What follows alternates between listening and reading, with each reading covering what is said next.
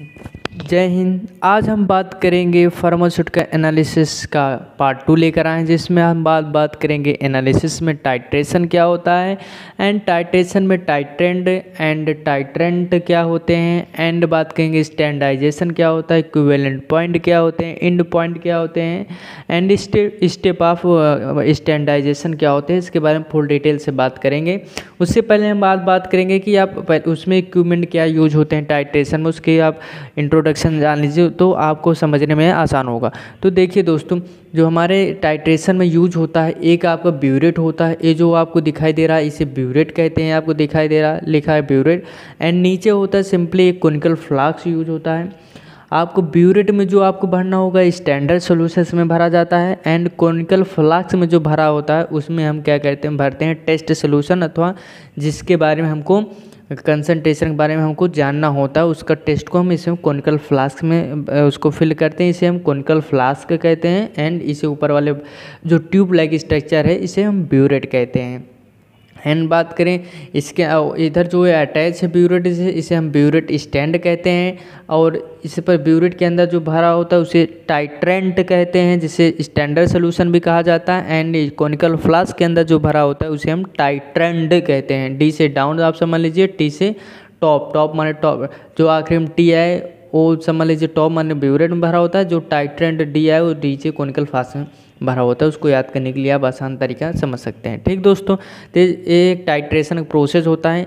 इनमें आप कुछ इंडिकेटर यूज़ करते हैं, ताकि जब हम रिएक्शन स्टार्ट कराएँ तो इंडिकेट जब इस इस सोल्यूशन का ए सोल्यूशन ए सोल्यूशन दोनों आपस में मिले तो जब मिले तो कब एक दोनों आपस में मिलकर रिएक्शन को इंड करते हैं, उस इंड पॉइंट को डिटरमाइन करने के लिए शो करने के लिए इसमें हम क्या कहते हैं इंडिकेटर यूज़ करते हैं, कि जैसे मान लीजिए एग्ज़ाम्पल के थ्रू, मान लीजिए हमारा, क्या कहते हैं, या हमारा सोल्यूशन जो होता है एसिड है, जब एसिड सोल्यूशन है तो मान लीजिए हमारा ए बेस हम इसमें डाल रहे हैं, इसको हम एसिड को न्यूट्रलाइज करने के लिए बेसिक में तो अगर जैसे ही हम क्या कहते हैं, इसको मिलाएँगे तो इंडिकेटर इसमें यूज़ हुआ है। मान लीजिए इंडिकेटर हम फिनोप्थलिन यूज़ किए हैं, जो कि जो होता है, उसका अगर हम कलर की बात करें फिनोप्थलिन फिनोप्थलिन जो होता है दोस्तों, वह एसिटिक मीडियम में क्या होता है, वह कलर लेस होता है, जैसे वह बेसिक मीडियम या बेस हमारा इसमें ऐड होगा, जैसे एसिडिक एसिड का मात्रा इंड न्यूट्रलाइज होगा बेसिक से तो वो हमारा ये सोल्यूशन जो होता है पिंक में चेंज हो जाएगा।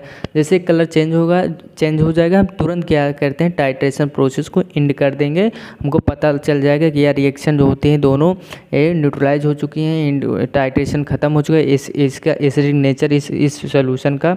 इंड हो चुका है। अब ये जो सोल्यूशन है, क्या कहते हैं हमारा, बचा है बेसिक नेचर हो चुका है। मतलब इसी तरह हम किसी भी सोल्यूशन को, किसी भी रिएक्शन को इंड पॉइंट को हम डिटरमाइन करते हैं उसके इंडिकेटर के अलग अलग इंडिकेटर को यूज़ करके। ठीक दोस्तों? तो एक जनरल प्रोसेस होता है, जिसके द्वारा हम करते हैं। इसके बारे में डिटेल से बात करेंगे। हम अब एक एक एक एक स्टेप बारे में पढ़ लेते हैं। तो पहले जो इसमें टर्म यूज़ होते हैं, कि वर्ड यूज़ होते हैं, उसके बारे में डिटेल से बात करते हैं। तो आपको पता होगा दोस्तों टाइट्रेशन शब्द आपको एनालिसिस में बहुत ही मिलेगा, हर जगह मिलेगा। तो आपको टाइट्रेशन के बारे में विस्तार से जानना ज़रूरी है। उसके बारे में क्या होता है? तो आप जान लें टाइट्रेशन दोस्तों एक प्रोसेस होता है। क्या होता है? टाइट्रेशन एक प्रोसेस होता है जिसके थ्रू आप क्या कहते हैं, किसी भी रिएक्शन की एंड पॉइंट को आप डिटरमाइन करते हैं। मान लीजिए दो रिएक्शन हो रहे हैं तो आप कैसे जानेंगे कि दोनों रिएक्शन हो चुके हैं? मान लीजिए आप क्या कहते हैं, दो वाटर आप, दो वाटर को आप मिलाएँ, एक एसिड को एक बेस को मान लो, दो दो केमिकल मिलाएँ, एक एसिड एक बेस तो आप कैसे जानेंगे एसिड बेस दोनों इक्वल मीडियम में आ गए कि इनके बीच जो रिएक्शन हो रहा है इंड हो गया, आप कैसे डिटरमाइन करेंगे? तो इस डिटरमाइन करने के लिए एक प्रोसेस होता है, जैसे टाइट्रेशन टाइट्रेशन के द्वारा हम किसी भी रिएक्शन की इंड पॉइंट को डिटरमाइन कर सकते हैं, ठीक है? एंड साथ साथ टाइट्रेशन के द्वारा हम किसी भी रिएक्शन को एंड पॉइंट डिटरमाइन कर सकते हैं। एंड उसके साथ साथ किसी भी उसके कंसनट्रेशन को, उस सोल्यूशन के कंसनट्रेशन को एंड उस उस किसी भी सोल्यूशन के पार्टिकुलर सोल्यूशन को, उसके नेचर को हम डिटरमाइन कर सकते हैं कि वह कौन सा नेचर है, वह एसिडिक नेचर है बेसिक नेचर है। उसके नेचर के बारे में टाइट्रेशन प्रोसेस के द्वारा हम किसी भी सोल्यूशन को डिटरमाइन कर सकते हैं। ठीक दोस्तों तो हम डिटर देखते हैं टाइट्रेशन क्या होता है, उसका डेफिनेशन एक। इट इज़ द प्रोसेस या प्रोसेस होता है ऑफ़ इंडिकेट इंडिकेशन का एक यह मतलब संकेत संकेत देता है टाइटेशन इंड पॉइंट किसी भी रिएक्शन के इंड पॉइंट को end point of reaction by using change in appearance by using titrates indicator के द्वारा and change in appearance and change क्या होता है उसमें अपीयरेंस जैसे हमारा अगर एसिड में है तो कलर अगर फिनोप्थिल एसिड सोल्यूशन अगर मान लीजिए होगा कलरलेस होगा, जैसे बेसिक नेचर में अगर हम फिनोप्थिलिन इंडिकेटर की यूज़ करेंगे तो आप पिंक पिंक में चेंज हो जाएगा तो हम जान जाएँगे कलरलेस सोल्यूशन जो होता है। मतलब अगर वो कलर चेंज करेगा, अगर कलर में है तो कलरलेस हो जाएगा तो कलर है तो कलरफुल हो जाएगा कलरलेस है तो। यह इंडिकेटर पे डिपेंड करता है आप कौन कौन से इंडिकेटर यूज़ करते हैं। इंडिकेटर के बारे में हम डिटेल से नेक्स्ट वीडियो में आपको बताएँगे कौन सा इंडिकेटर कौन सा कलर प्रोड्यूस करता है, किस मीडियम में, ठीक है? तो this change in appearance this अथवा दिस अपियरेंस ऑफ़ कलर अथवा फार्मेशन ऑफ़ प्रेसिपिटेशन यदि कलर चेंज होगा अथवा कोई प्रेसिपिटेशन बना फॉर्मेशन का प्रेसिपिटेशन में वाइट सब्सटेंस मतलब जो कि वाइट सब्सटेंस किसी भी रिएक्शन के द्वारा प्राप्त होता है ग्रेनुल्स फॉर्म में, वह भी ग्रेनुल छोटे छोटे ग्रेनुल्स आपके कॉनिकल फ्लास्क में जम जाएँगे। आपके स्क्रीन में आपको दिखाई दे रहा है कैसे कि प्रेसिपिटेशन बनता है, उसके द्वारा आप डिटरमाइन कर सकते हैं। ठीक दोस्तों तो अब हम देख लेते हैं, क्या कहते हैं कि इसमें जो टाइट्रेशन है टाइट्रेशन में दो वर्ड यूज़ होते हैं, एक टाइट्रेंट एक टाइट्रेंड जैसे कि आपको भाई हम शुरुआत में ही आपको दिखाए थे कॉनिकल फ्लाक्स में जो भरा होता है, उसे हम टाइट्रेंट नीचे कहते हैं और जो हमारा ब्यूरेट में भरा होता है, उसे टाइट्रेंट कहते हैं। टाइट्रेंट तो हम ब्यूरेट और कोनिकल फ्लास्क इसलिए आपको पहले बता दें क्योंकि ब्यूरेट और कोनिकल फ्लास्क का टाइट्रेशन ही यूज़ होता है। आप पूरे से आप फ़र्स्ट सेमेस्टर पूरा एनालिसिस में आपको टाइट्रेशन ही पूरा एक लैब में आपको पूरा burette and conical flask and क्या कहते हैं ग्लास ट्यूब और तीन चार इक्विपमेंट के साथ ही फ़र्स्ट ईयर आपका बीतेगा, ठीक दोस्तों? तो टाइट्रेंट जो होता है this solution of known concentration titrant जो होता है, एक एक सोल्यूशन होता है नो कंसनट्रेशन जिसकी कंसनट्रेशन आपको पता होती है which use taken in burette is called titrant इस इस टाइट्रेन को मतलब दो सोल्यूशन आपको बनाना होता है, एक सोल्यूशन का आपका आपका कंसनट्रेशन पता होता है दूसरे एक सोल्यूशन का कंसनट्रेशन आप डिटरमाइन करते हैं उसकी सहायता से। ठीक दोस्तों? तो मान लीजिए आपको ये सोल्यूशन आप लिए हैं, आपको पता है कि यह सोल्यूशन हमारा क्या है? एसिड है। जो आप मान लीजिए सोल्यूशन आप लिए हैं टाइटन मान लीजिए आप लिए आप जानते हैं बेसिक लेकिन आपको पता नहीं कौन का फ्लाक्स में कौन सा सोल्यूशन सोल्यूशन तो लिए लेकिन आपको पता नहीं है कौन सा नेचर है उस सोल्यूशन का। तो आप क्या करेंगे, आपका, आप बेसिक बेस आप बेस ऊपर आपको कोनिकल फ्लाक्स में आप बेस लिए हैं, इसको आप जान रहे हैं, लेकिन नीचे वाले सोल्यूशन का आपको पता नहीं क्या लिए हैं।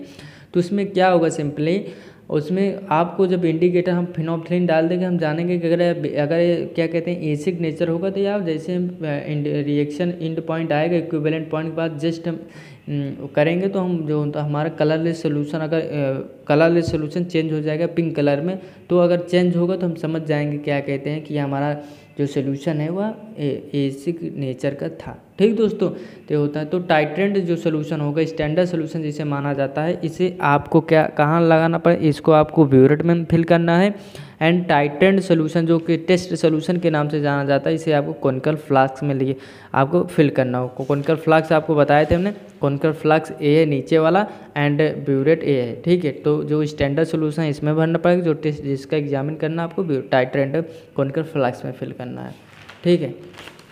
तो इसी तरह दोस्तों अब हम देख लेते हैं इक्विवेलेंट पॉइंट क्या इंड पॉइंट क्या होता है। तो इंड पॉइंट क्या होता है दोस्तों? तो टाइट्रेंड के बारे में पहले देख लीजिए, नहीं कि आप इसको छोड़ दिए। दिस सोल्यूशन ऑफ़ अननोन जो, यह सोल्यूशन टाइट्रेन जो होता है this solution of unknown concentration इस सोल्यूशन के बारे में हमें कुछ भी नहीं पता होता अननोन होता है and which is being titrated and usually taken in conical flask इसे हम यूजली कोनिकल फ्लास्क में लेते हैं इज़ इज़ कॉल्ड टाइट्रेंड इसे हम टाइट्रेंड कहते हैं।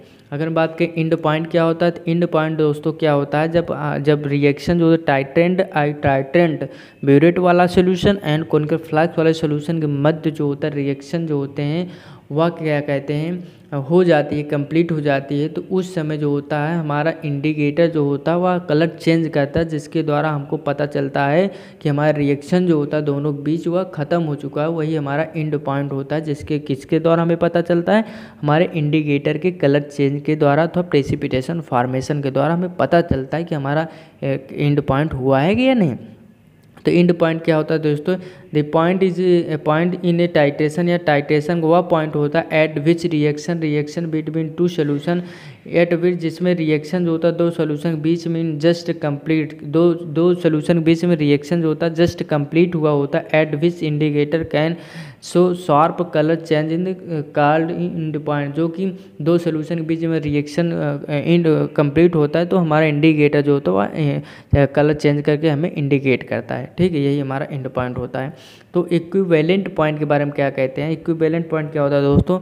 इंड पॉइंट इक्विवेलेंट पॉइंट में आप लोगों को बहुत ही क्या कहते हैं कन्फ्यूज़ होता कन्फ्यूज़ होंगे।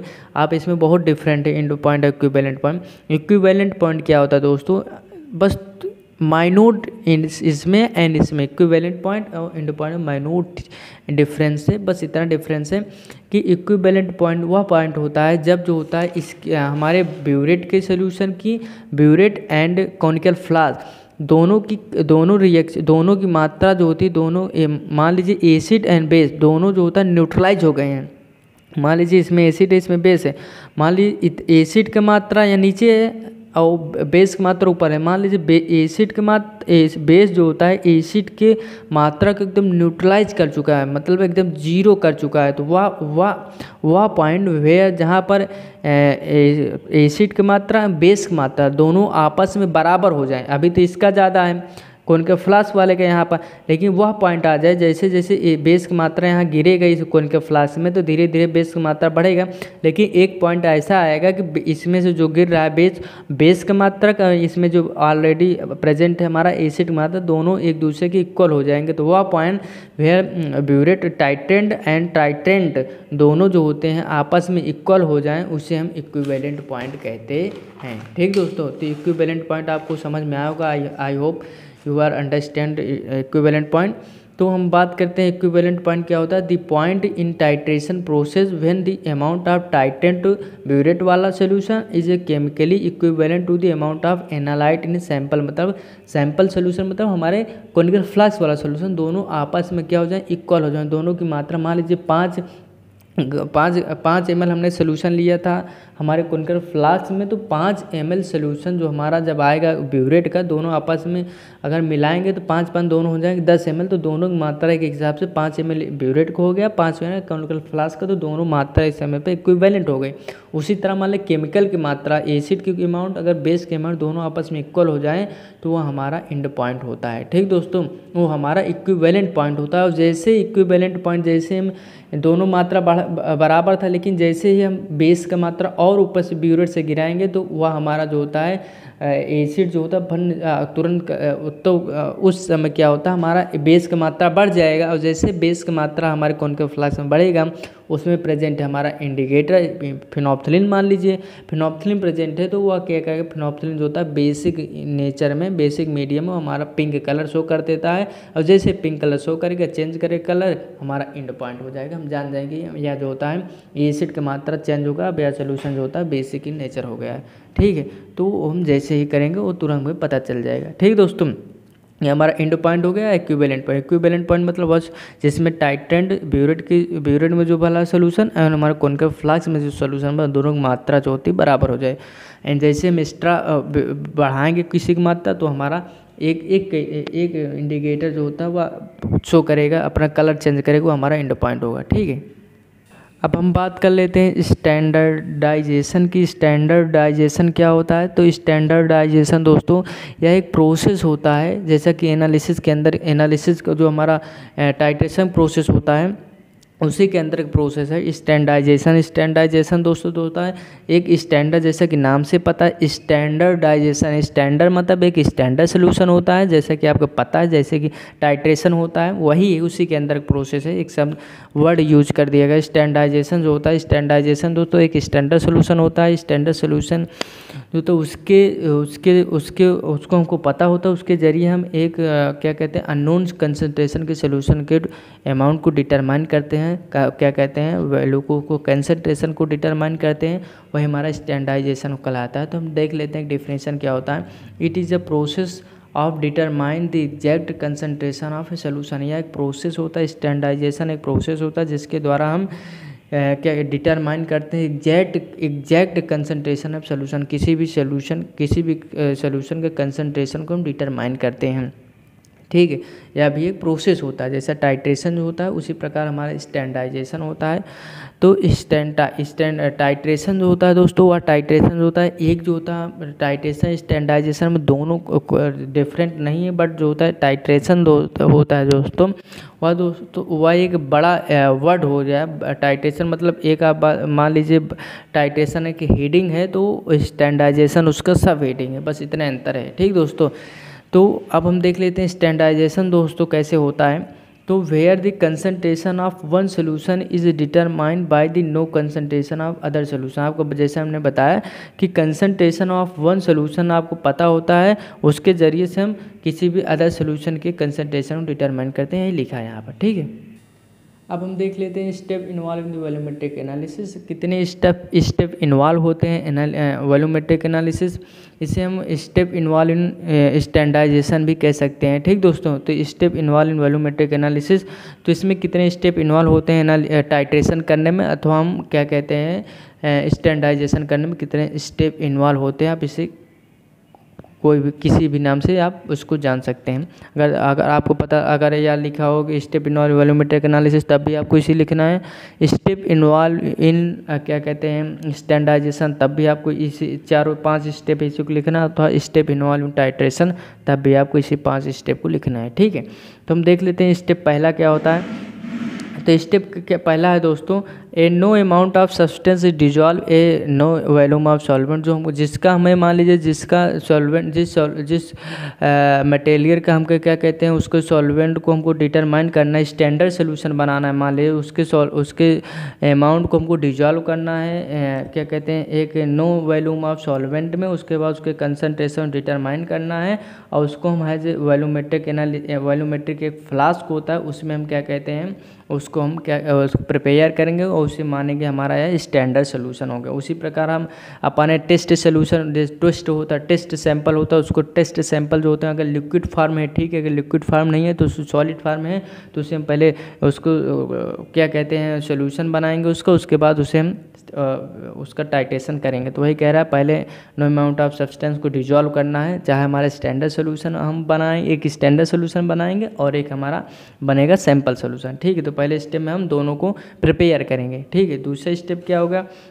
दोनों को हमको वॉल्यूमेट्रिक फ्लास्क में ही बनाना है। ठीक है वॉल्यूमेट्रिक फ्लास्क होता है, जो कि आपकी स्क्रीन पर आपको दिखाई दे रहे होंगे, ये हमारा वॉल्यूमेट्रिक फ्लास्क है। ठीक है, अब हम बात करते हैं दूसरा step known volume of analyte solution titrant sample solution test is taken burette जो हमारा, जो कि हमारा टाइट्रेंट सोल्यूशन है, जो स्टैंडर्ड सोल्यूशन है, उसे हम लेंगे ब्यूरेट में, जैसे ब्यूरेट यहाँ, और जब दूस, और जो हमारा टेस्ट सोल्यूशन उसे हम कॉन्कल फ्लाक्स में फिल करेंगे, दूसरे स्टेप में। ठीक दोस्तों?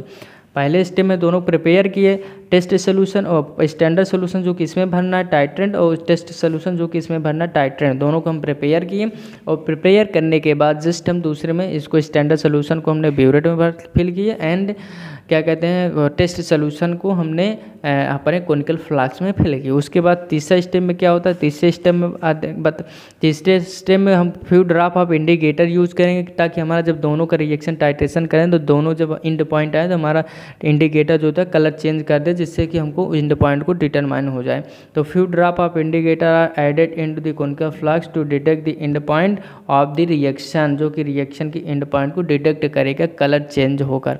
हम आगे देखेंगे, विभिन्न प्रकार के स्टैंडाइजेशन करेंगे फुल डिटेल से पूरे। मस्तिष्क का पूरा टाइटेशन आपको ईजी वे में आपको समझा दिया जाएगा इस पर कोई दिक्कत नहीं है। ठीक दोस्तों तो ऑब्जेक्ट उसके बाद देख लेते हैं। तो अब हम देख लेते हैं स्टेप नंबर फोर है स्टेप तीन स्टेप में हमने क्या किया, तीसरे स्टेप फ़र्स्ट स्टेप हमने primary standard solution secondary primary and primary standard solution and test solution को डिजॉल्व किया। मान लीजिए सॉलिड फार्म में है तो अगर लिक्विड फार्म है तो कोई दिक्कत नहीं है, उसके अमाउंट को डिटरमाइन किया बस। तो उसके बाद तीसरे दूसरे स्टेप में हमने क्या किया? स्टैंडर्ड सोल्यूशन को ब्यूरेट में फिल किया and test solution conical flask में। और तीसरे स्टेप हमने क्या किया? उसमें फ्यू ड्राफ कॉनकर फ्लाक्स में हमको फ्यू ड्राफ इंडिकेटर यूज़ करना है, ना कि ब्यूरेट में, ठीक है? एंड फोर्थ स्टेप में हमको क्या करना है? फोर्थ स्टेप में दोस्तों हमको टाइट्रेशन स्टार्ट करना है। Titrate the solution against the titrant titration start करना है। तब तक करना जबकि हमारा कलर जो होता है, वो चेंज ना हो जाए। यदि कलर टाइट्रेशन मतलब हम इसको ओपन करेंगे धीरे धीरे इस वाल को, इसका पानी इसमें, इसका स्टैंडर्ड सोल्यूशन को वाटर सोल्यूशन जो होता है, इसमें आने लगे। धीरे धीरे बूंद बूंद हम इसको इसमें डालेंगे ताकि हम कलर चेंज हमको स्पष्ट रूप से दिखाई दे दे। ठीक है? तो जैसे ही, मान लीजिए अगर पिंक कलरफुल होगा तो कलर लेस हो जाएगा कलर लेस होगा तो कलरफुल हो जाएँगे इंडिकेटर यूज़ किया जाएगा, आपको बताया जाएगा कौन से कौन से स्टैंडाइजेशन में कौन सा कलर होगा, कौन सा नहीं, आपको फुल डिटेल में बताया जाएगा। ठीक है तो टाइटेशन स्टार्ट कर देंगे। फोर्थ स्टेप में एंड फाइव स्टेप में जो तो दो जो आएगा हमारा उसके बाद जो रिकॉर्ड दी वैल्यूम जो हमारा जिस पॉइंट में हमारा टाइटेशन इंड होगा उसके वैल्यूम को हमको डिटरमाइन करना है। यहाँ पर जो ब्यूरेट है ब्यूरेट में यहाँ पर जो होता है मीटर मीटर टाइप इसमें ओ, ओ, आ, क्या कहते हैं सब लिखी रहती है वैल्यू की five M L ten M L zero M L two M L fifty M L सौ एम एल तक लिखा रहता है। जितने एम एल वाटर यूज़ हुआ उसको रिकॉर्ड करना होता है हमें। और रिकॉर्ड करना तो वही हमको रिकॉर्ड दी वैल्यू रीडिंग इसको लिखनी पड़ती है कितने में हमारा या टाइटेशन मतलब कलर चेंज हुआ, उसको लिखा, लिखना पड़ता है। उसके बाद इस प्रोसेस को हमको तीन फेरा करना पड़ता है, क्योंकि मान लीजिए एक फेरा अगर अगर तीनों फेरा अगर मान लीजिए यही रिकॉर्ड आया तो मान लीजिए आपका टाइट्रेशन जो होगा, वह स्टैंड बढ़िया हुआ है, ताकि उसमें कोई भी एरर नहीं है, ठीक है? तो ही रिकॉर्ड रीडिंग तीनों फिर हमको रिकॉर्ड रीडिंग करना है, उसके बाद रीडिंग करने में calculate calculation is done calculation done कैसे होगा? एन वन वी वन बराबर N two V two N one V one जो होता है दोस्तों एन वन जो होता है हमारे ब्यूरेट एन वन जो होता है दोस्तों एन वन जो होता है, इसमें जो भरा है हमारे ब्यूरेट में इसकी नॉर्मेलिटी होती है और वी वन मतलब इसकी वैल्यूम होता है। कितना वैल्यूम इसका खर्च हुआ है। एंड एन टू जो होता है हमारा से हमारा कौन का फ्लास्क की नॉर्मेलिटी होती है, इसमें जो सब्सटेंस है और वी टू मतलब इसके क्या इसकी वैल्यूम है तो हमको हमको इसमें जो सब्सटेंस भरा हो तो उसकी नॉर्मेलिटी नहीं पता होती। इसकी नॉर्मेलिटी पता करने के लिए हम टाइट्रेशन ही करते हैं टेस्ट सोल्यूशन की। तो इसीलिए हमको एन टू ज्ञात करना होता है। तो एन वन वी वन पहले बराबर तो एन टू ज्ञात करना है। तो एन टू ज्ञात करना है तो एन वन वी वन अपन वी टू करेंगे, क्योंकि एन टू ज्ञात करना है तो इसको हम वी टू को इधर कर देंगे तो यह भाग में आ जाएगा। तो एन वन वी वन बराबर वी टू इसी फार्मूला को लगाकर हम कैलकुलेट कर सकते हैं कि जो हमारा कौन का फ्लास की नॉर्मेलिटी है या इतनी है, क्योंकि इसको नॉर्मेलिटी हमको पता नहीं था स्टैंडर्ड सोल्यूशन की। ब्यूरेट वाले की पता थी, नीचे वाले की नहीं पता थी उससे हम पता लगाएँगे। ठीक दोस्तों? तो एन वन वी वन जो होता है, ब्यूरेट की रीडिंग है और एन टू वी टू हमारे गुनकर फ्लास की वैल्यू है रीडिंग है। ठीक दोस्तों? तो आशा करता हूँ आपको समझ में आया होगा। आपके आज की वीडियो के जो पीडीएफ है, आपके डिस्क्रिप्शन बॉक्स में दिए हुए होगी। उसको आप क्या कहते हैं, जाकर टेलीग्राम पर अगर आप डाउनलोड नहीं किए डाउनलोड कर लीजिए, क्योंकि आपको सारे पीडीएफ जो होगा, तभी आपको पी पीडीएफ उसमें आपका लिंक खुलेगी जब आप टेलीग्राम ऐप को डाउनलोड करके डाउनलोड करेंगे, क्योंकि हमारा जब पीडीएफ जो होता है, सारे पीडीएफ हम टेलीग्राम ऊपर डालते हैं। आपको जो डिस्क्रिप्शन में लिंक है, वो भी टी, पे, क्या कहते हैं टेलीग्राम का है। आप जैसे टेलीग्राम के लिंक को डालेंगे आपको आपकी इस वीडियो का लिंक आप, वहाँ पर आपको आपको पीडीएफ मिल जाएगा। ठीक दोस्तों पीडीएफ एंड चैनल को सब्सक्राइब नहीं किए हो तो चैनल को सब्सक्राइब कीजिए। आपके first semester, second semester, third semester, fourth semester, सभी की फुल वीडियो यहाँ पर अपलोड किए जाएगी। बिग्स, with M C Q and important आपके जीपेड लेवल की क्वेश्चन को जैसे आपका फ़र्स्ट फ़र्स्ट यूनिट खत्म होगा, जस्ट आप इस इंपॉर्टेंट क्वेश्चन जो होगी एम सी क्यू उसको भी डिटेल के कराया जाएगा। एंड इसी चैनल पर आपको तीन साल के प्रीवियस ईयर क्वेश्चन पेपर भी सॉल्व आपको प्रोवाइड किए जाएँगे। ठीक दोस्तों तो शेयर कर लीजिए अपने दोस्तों के साथ। अगर सब्सक्राइब नहीं किया हो सब्सक्राइब कर लीजिए। जय हिंद।